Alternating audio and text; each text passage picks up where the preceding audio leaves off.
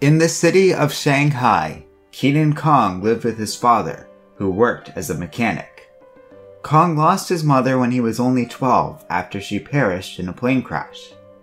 Her death had a profound effect on the boy, and he grew up resentful about the circumstances behind her death, while Kenan became selfish and arrogant. By the time he turned 17, Kong took to bullying Luo Lixin, the son of China Southeast Airlines CEO, who owned the plane that Kenan's mother had died on. One day, Luo was attacked by a supervillain. Kong stood his ground and attacked the villain, forcing him to free Luo and retreat. After being interviewed by a reporter named Laney Lan, Kong was noticed by a secret government organization known as the Ministry of Self-Reliance. Believing the teenager possessed the qualities of a hero based on the incident with Luo, they offered him the powers of Superman, the most powerful superhero in the world. Kenan accepted, though he tried to back out when he realized the procedure would be dangerous. Nevertheless, he was exposed to a large amount of energy, the life force of a dead Kryptonian. The procedure rendered the young man unconscious. Kenan was empowered with this life energy known as Ki, and in doing so gained powers on a level comparable to Superman. He could fly, generate heat beams with his eyes, had super breath, had enhanced hearing, speed, and strength, and possessed X-ray vision. Solar energy would empower him, while kryptonite would weaken him, though to a lesser extent than a real Kryptonian. Kenan Kong woke up with his new powers triggering, destroying a containment pod he had been placed in. Once he was subdued by other individuals empowered by the Ministry, Kenan was informed by the head of this organization, Dr. Omen, that he would be kept here and would be expected to cooperate with the government and work with them on their new team of heroes the Justice League of China. Kenan was successful in helping on his first mission with the team, defeating a villain known as Sunbeam after he was hit with a blast of Earth's powers, which are rooted in sunlight and thus empowered him. Upon this victory, Laney Lan showed up with the news crew, and on national television, Kenan revealed his identity and his role as the new Superman, as well as the existence of the Justice League of China. This news made waves around the world, while Dr. Omen harshly punished Kenan by blasting him with kryptonite, in retaliation for exposing her entire organization to the world. The whole experience did bring Kenan closer to the other two heroes of the Institute, though, and Kenan soon became friends with Batman and Wonder Woman. The three began operating as heroes based around Shanghai. Kenan even began to earn the respect of Dr. Omen, who he convinced to let him return home and speak to his father about what happened to him. It was then that Kenan learned his father, Zong Dan, was a rogue operative known as a freedom fighter, who had long stood against the Chinese government in the name of freedom and democracy. His father convinced Kenan to abandon the League and work to help the freedom fighters. However, in the field, one of the fighters used a series of star organisms to take control of Batman and Wonder Woman, much to Zong Dan's astonishment. After all, using mind control in the name of democracy was a deeply hypocritical move. Kenan and Zongdan turned on the fighters, but Superman's powers, at this point unstable and unreliable, vanished at a critical moment, nearly killing the young man. Zongdan was able to save his son by rushing him to the Ministry of Self-Reliance. They were able to save Kenan with a massive blast of solar radiation, though Dr. Omen was unwilling to trust Kenan's father. She let him go after he insisted he could help stop the rest of the freedom fighters, but not before hitting him with a compliance device, saying she expected him to surrender when all of this was over. Father and son were able to free the Justice League, who the freedom fighters used to hijack a commercial plane. The League worked together to fight both the freedom fighters and another Chinese superhero team known as the Great Ten in order to save the aircraft and the people on board. This victory did not come without a cost, however, and Kenan's father was killed in the battle. Now, with both of his parents having been killed on different accidents involving a plane, Kenan was left devastated. However, this time, the grief and overall experience had changed the young man for the better. Kenan began getting a new sense of responsibility and desire to act for the goodwill of the people, much like his father did. Before he died, Zongdan said the ministry was responsible for Kenan's mother being killed, going so far as to say he had proof. Wonder Woman, real name Peng Deilan, and Batman, real name Wang Baixi, both agreed to look into this matter, and the three swore that from now on they'd decide what to do based on what was right, even if it meant breaking ministry protocol. Kenan agreed to play along with the ministry for now, but swore he would get revenge on whoever killed his mother. Meanwhile, Dr. Omen was able to use the compliance device to retrieve Zongdan's body, and declared that thanks to this device, she'd be able to bring him back. She would do anything for the man she loves.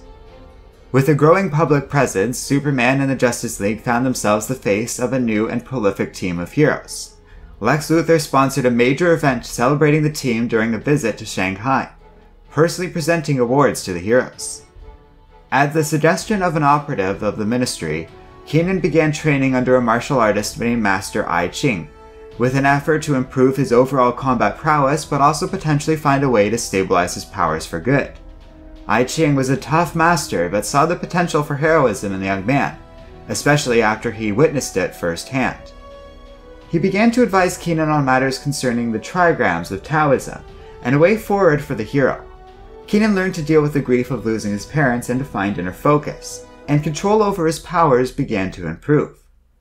It was then that the true purpose of Luthor's visit to Shanghai was revealed. He had managed to contact the Ministry of Self Reliance, and they agreed to send Kenan along as a security consultant for a trip back to America, in an effort for the government branch to build ties with one of the most influential companies in the world. Kenan reluctantly set out, with I Ching accompanying him and providing translation for Luthor. In a misguided experiment, Luthor had Kenan open a portal to what turned out to be a hell dimension, resulting in Superman arriving to save the day. The two Supermen were able to close the portal together, while Kenan rejected Luthor's offer for further help in stabilizing his powers. The event had secured the Man of Steel's respect for Kong, and Superman offered the young man some advice before returning him home. Kenan would work with Superman again during a dimensional incursion from another universe, and Superman would come to view Kenan as a reliable and powerful ally he could count on in a moment of crisis. The Hell Portal had also attracted the attention of Avery Ho, a speedster who joined the Justice League of China as their Flash. The growing league continued protecting their home, including against a threat called Superman Zero, an older Superman doppelganger that threatened to conquer all of China, when Dr. Omen nearly fell to her death when Superman Zero attacked the Ministry headquarters. Kenan, who discovered his father was being held by the Ministry, demanded Omen tell him the truth about what she did to his family before he would save her. As she began to fall, Omen revealed she was Kenan's mother. Superman Zero snatched the woman in midair, so Kenan rallied with the Justice League to free his parents. The team was successful, but the attack had earned the attention of the Suicide Squad, who killed Superman Zero with a kryptonite sword wielded by Deadshot. They attacked Superman, but he was saved by the Great Ten and the rest of the Justice League. Kenan recovered back at the Ministry, where Omen explained that her identity as his mother was a cover to spy on Zongdan's freedom fighters. When she was called back into the Ministry, she faked the death of her persona and abandoned the family. Her making Kenan Superman was out of a lingering affection for the boy, to a degree, as she thought of no better way to ensure his safety than making him one of the most powerful heroes on the planet, admitting that not all of her time with the family was fake, and she did truly care for both Kenan and Zongdan in her own way. With little other choice, Zongdan and Kenan grew to accept this story for what it was, and the concept of continuing to function as a family, however strange it might be.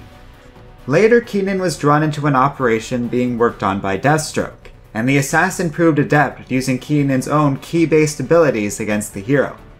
Nevertheless, Kenan was able to aid in subduing the man, who was ultimately imprisoned in Arkham Asylum. On another occasion, Supergirl also sought out advice for Kenan about controlling her powers. He introduced Kara to I Ching, who trained the two together before they were called into action. The heroes worked together to defeat the villain and help the people of Shanghai, while the whole experience seemed to afford Supergirl a degree of insight into understanding herself, her past, and her own abilities. As the Justice League of China continued operating, they were accidentally drawn into conflict with the Justice League. Kenan and his friends were no match for the experienced heroes, but they were only lightly reprimanded for their reckless behavior in the conflict. Most members of the League got along well together, while Avery already knew Barry Allen. He was the one who trained her into using the Speed Force to begin with. Following this near conflict, the Justice League was able to stabilize Kenan's powers once and for all. It did result in a number of demigods being summoned to this realm, and it took the combined power of both Justice Leagues to save the day. Kenan was left altered by the event, becoming the living embodiment of the principles of yin and yang, after I Ching passed these abilities on to him. These new abilities greatly altered the nature of Kenan. He became robustly imbued with the trigrams of Taoism and magic itself, the true extent of which, to this day, he does not fully understand. He also became highly resistant, if not outright immune, to many forms of external magical attacks and effects. The Ministry, meanwhile, became dissatisfied with the loyalty of their Justice League, and began investing in creating their own version of the Green Lantern Corps under their direct control.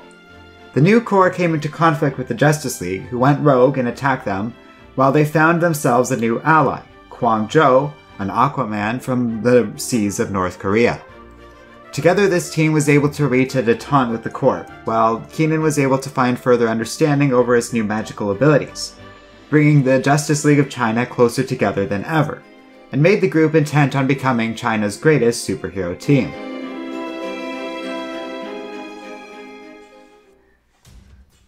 In the near future, Kenan will join a larger superhero team in China called the Great 20 in part of a growing global trend of metahuman escalation and the tension surrounding it.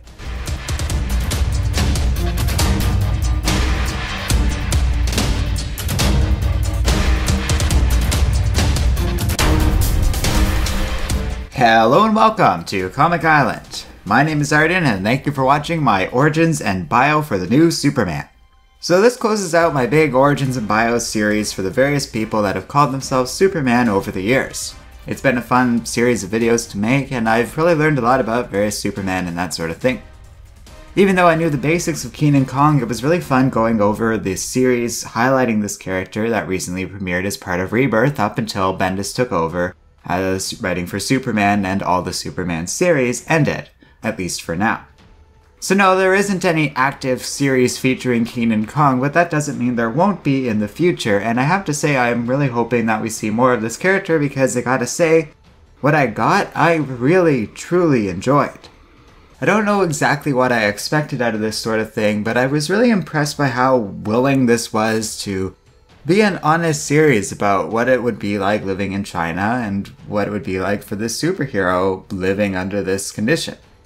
It's a story that doesn't really whitewash some of the problems with the Chinese government and the corruption associated with it, but it also doesn't make it entirely what that story is about or oversimplify the issue. The people working with the government are often seen as good people who just want what's best for the country and their home, but a lot of times that's mixed with either corruption or a willingness to cross lines in order to ensure safety, such as with Dr. Omen and with others such as Batman and Wonder Woman who are more willing to work with Kenan and work against the government because it's right and they were won over by him as a character. Kenan himself reminds me a lot of Miles Morales from Marvel. Those comparisons aren't really accidental. Uh, it seems like there's a lot of similarities between the two, but Kenan's written with a certain degree of authenticity that I quite enjoy. Gene Luen Yang is a really good writer who has done a great job in creating this new character that's very distinct from Superman.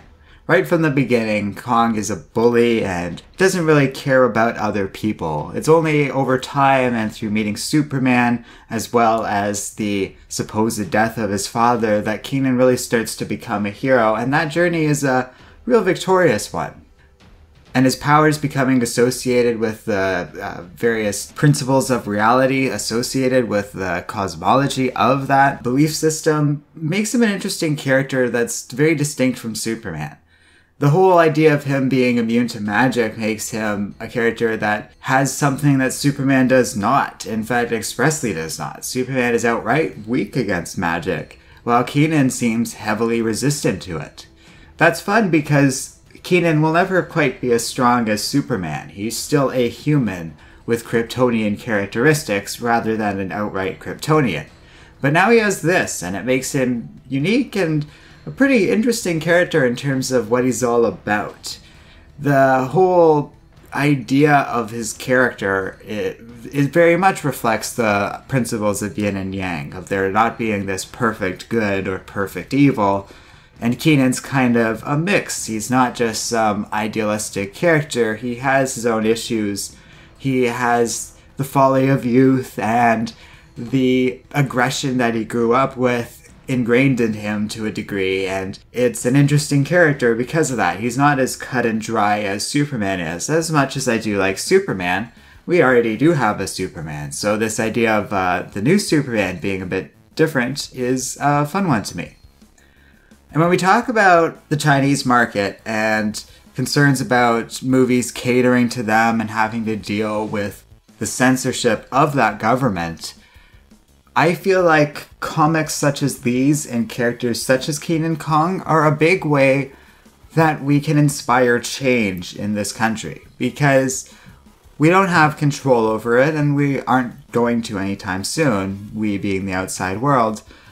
But there's nothing wrong with the Chinese people. It's their government that's got issues. And by creating characters that inspire greatness, such as Superman and the entire Justice League of China, as they're all very fun characters, I think that's how you can inspire change from within. And that's the whole point of series like the new Superman series that DC created, is appealing to this market. And in creating these characters, I think you can kind of win people over a little more than propaganda or outright means of direct aggression or something like that. This is kind of what inspired Americans to begin with, is the idea of Superman, and it probably has inspired a lot of great things, just more than what people might realize in the first place. So for them to do this kind of works for me. And the whole idea of China wanting to create their own Justice League and their own version of these famous heroes also fits and fits into what I feel politically the, government might do in response to the creation of the Justice League if that were to happen in the real world and that team were based around America. I feel like a lot of countries would be doing this. So it's pretty fun and pretty interesting overall. I would definitely recommend the series. It was a very fun read and I was sad to hear that it ended. And hopefully it just ended as part of the Bendis reboot of Superman that's happened because I'd like to see this character in some form or another soon or in the future. Maybe if he doesn't have his own solo series, we'll kind of get the team based setting that that new Superman had already transitioned to near the end of its run. So, whatever plans DC has for this character, I'm looking forward to seeing more of him because he's a lot of fun and has a lot of potential in the future. So, thanks for watching. Let me know what you think in the comments section below. And don't forget to like, subscribe, and keep reading comics.